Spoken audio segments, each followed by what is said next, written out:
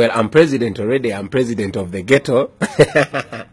Our ghettos are full of young people, and 80% of them are unemployed. They've been lacking confidence, so I'm here to give them confidence. I've always used my music to speak out on the evils and injustices of society. I've always used my music to talk to my fans, especially the young generation. I would like to communicate about the things that we have to eliminate, the ignorance and poverty to eradicate, all these ghetto children to educate. Yo, don't you try to politicize, don't say Bobi Wine him criticize. No, sensitize, me sensitize, cause I know that my people must realize the most important thing that true liberty begins in your mindset. To free ghetto people, they must educate, but education is expensive to get. It's like you say we carry water in a basket. Boom! I don't know why the corruption is too much. Yaka yaka yaka, why the price of electricity too high? Yaka yaka yaka, why the price of education is too much?